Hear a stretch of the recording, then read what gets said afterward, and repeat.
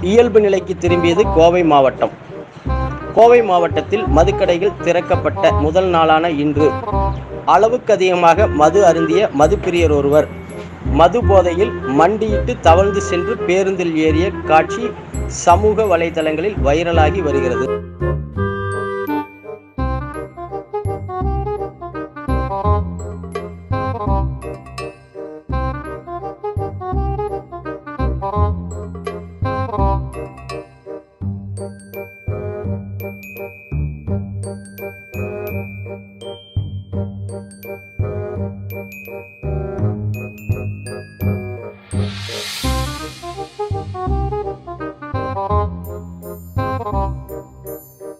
செய்தியாளர் கோவையிலிருந்து பொற்கை பாண்டியன்.